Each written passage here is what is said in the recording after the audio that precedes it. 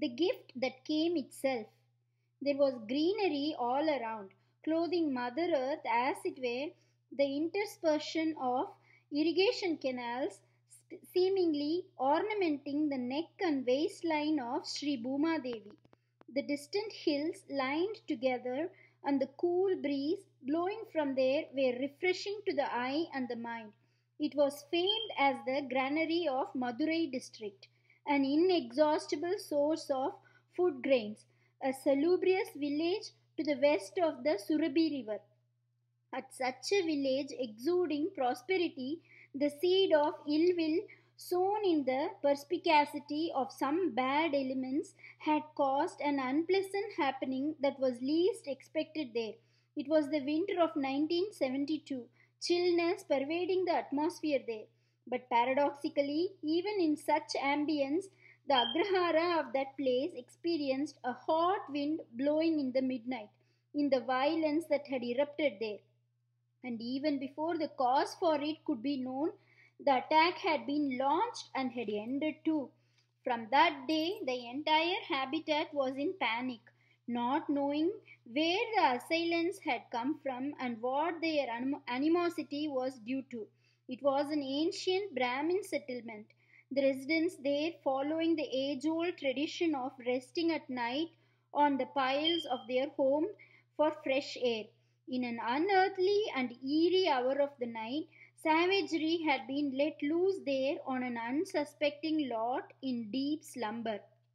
It was perhaps due to some antagonism of the past, attributable to communi- communal discord, religious differences, or even political plotting, that some persons who were not in a sober state of mind had entered the place and caused harm to the innocent ones sleeping in the privacy of their homes. On account of this happening, the residents of that colony were in constant terror and ever praying, O God, is there none to question the atrocities of these sinners? Will not some protection be afforded to us? One and a half years had passed thus, and in 1974 it was decided to observe Sri Raghavendra Swami's Aradhana, as was customary there. From 1935, Sri Kuppanna Rao of that village was observing the festivity in his house on the Madhya Aradhana day. But in 1974, the public of the place eagerly came forward to celebrate the event as a common festival. Even after December 1972, when an outrage had been committed in the village, the Aradhana of 1973 had been conducted uninterruptedly. But in 1974, there was more interest evinced by the locals to commemorate the event on a grand scale. In those days, Sri V.S. Venkatramana Rao, the well known Harikatha exponent, was spreading Raghavendra Bhakti through his spellbinding discourses. During his visits to the village, the public of the place were repeatedly apprising him of the barbarity unleashed on them. Sri Venkatramana Rao's wife belonged to that village, and for the Raghavendra Aradhana of 1974, he had been invited there to deliver a religious discourse. During his Harikatha on 6 8 1974, he delivered an inspiring message on the following lines Dear devotees, Sri Raghavendra Aradhana has of course been taking place in this village since long. But Sri Raghavendra should be made to cause his advent here for daily worship by all of you. He was a universal saint beyond considerations like caste, creed, and religion, always ready to grace everyone. There are numerous instances revelatory of this in his life history. If the public of this place should pray to him as one man, circumstances conducive to the coexistence of diverse sects of people in this village and in the neighborhood will evolve for the peaceful and prosperous living of all, beyond the bitterness and hatred that have left their embers still smoldering. And to attain that state, you should all endeavor from this moment to have Sri Raghavendra ensconced here, Sri Guru Raja will undoubtedly bring success and good to all. The seed for the craving to get a Mritika Brindavana of Sri Raghavendra installed in their village was thus sown instantly in the hearts of the natives, such being the impact of his forceful talk that day. And immediately following the Aradhana, the elders of the place formed a Madhva Sangha there and decided to install a Mritika Brindavana of Sri Raghavendra Swami under its aegis. The Madhva Sangha thus started on 7 8 1974 was officially registered on 5 11 1974 its name carrying the identity of the place of its founding. The establishment of the madhva sangha it was expected would lay the would lay the foundation for rooting out the problems of that fertile kambam valley village the local residents soulfully prayed to Sri Harivayu, ensconced on the bank of the canal bordering the outskirts of the village, for a Raghavendra Brindavana to become a reality in their place. Incidentally, Sri Varadaraja and Sri Anjaneya, existing in the midst of green fields, presents an enchanting sight there. The Leelas of Vayuputra for the installation of his idol, Sri Anjaneya idol, through Sri Sumatindra or indeed spine tingling to know about. Madurai at that time was under the governance of Rani Mangamma. She was a very devout person, given to respecting and honoring the saints and learned pandits. In part 3, we have seen in detail about Rani Mangamma having presented to Sri Sumatindra a Vaikunta Vasudeva idol, which still continues to be worshipped in Sri Raghavendra Mat, the principal one in Mantralaya, kept prominently in the puja setting of the Mat.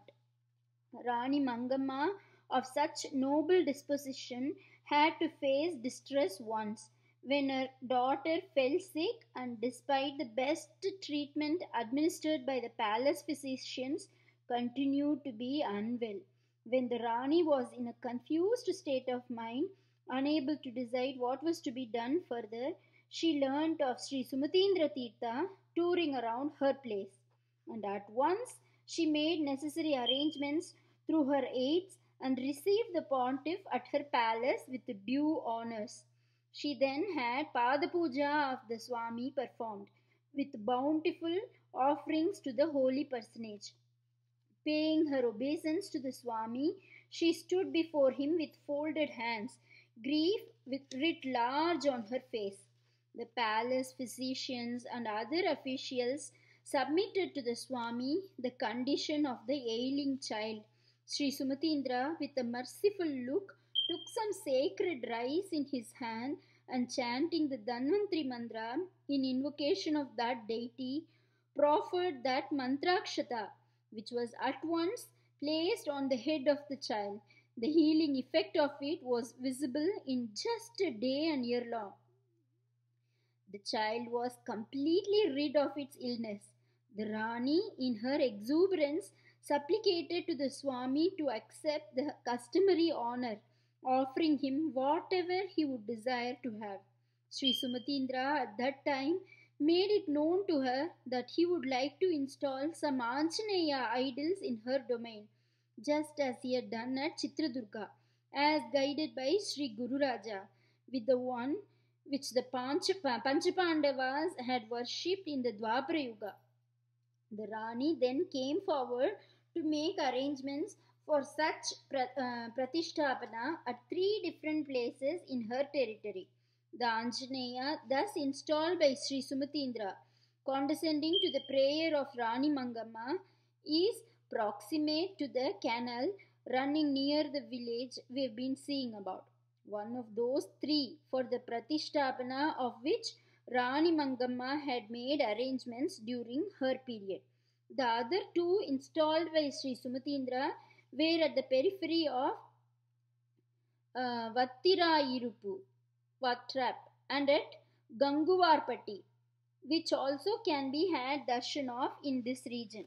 After the institution of the Madhva Sangha in that village, devotees started contributing their mite for the divine cause, and by word of mouth, the earnest efforts of the public of that place spread to various corners, enthusing the participation of a large number of devotees in the holy venture.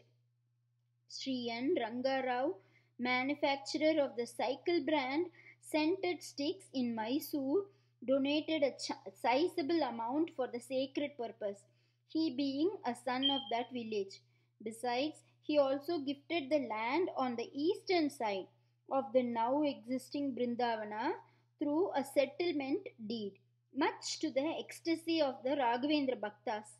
Sri Kuppanna Rao, postmaster of that place, about whom we have known already, made a benefaction to the Madhva Sangha of the land to the west, and ultimately it was only the portion between those two lands that remained to be acquired by the Madhva Sangha for the installation of the Brindavana and contiguity in its precincts.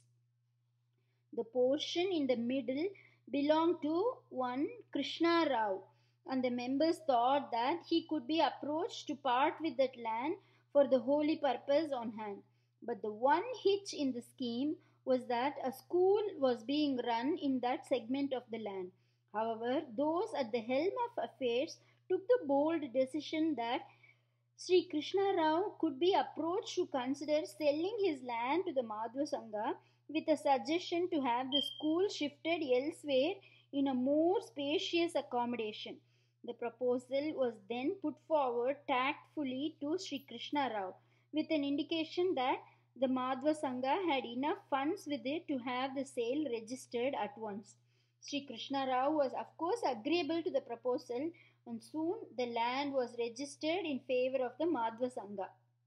Thus, the eastern side land, the one to the west, as also the middle portion, were all available for the Brindavana Pratishtapana, located as they were at the head of the Agrahara. Soon, a protective wall was raised, enclosing the entire area. About six years later, a small enclosed space with thatched roofing was constructed there to serve as a place of worship. The members of the Sangha thought that bhajans could be conducted there with a picture or idol of Sri Raghavendra kept there for worship. It was suggested by a member that what the Sangha president Sri M.V. Setu Rao had in his house could be brought there and kept for puja. Of course, there was unanimous approval for the proposal. What was brought there will be unveiled in the next chapter, and so also the identity of the village, which has been kept thus far as a suspense to arouse the curiosity of the readers.